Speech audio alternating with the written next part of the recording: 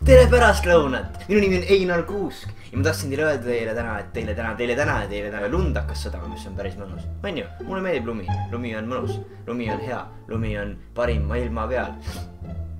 tänases saates ma tahtsin teile tuua pro tip, pro tip in making food. ma tahtsin teile tuua mm, mm, toidu tegemise saladuse, üks, üks iidne, kümneid tuhandeid aastaid vana toidu tegemise saladus, mida, mida mitte, keegi peale minu ei tea, mitte keegi peale minu. see iidne toidu tegemise saladus on see, kuidas mitte piim üle keeta.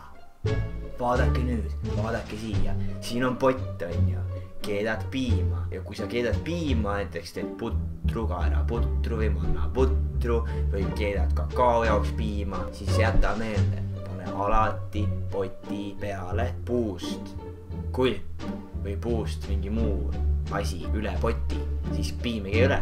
ausalt, võite proovida, kui te usute, tegelikult ka nii lihtne see ongi, piim lihtsalt ei käi üle. ma ei tea, miks, mingi Illuminati teema noh, Illuminati saladused, minult saate, subscribe ige, like ige videot, jagage Facebookis, igal pool, Twitteris, davai. head keetmist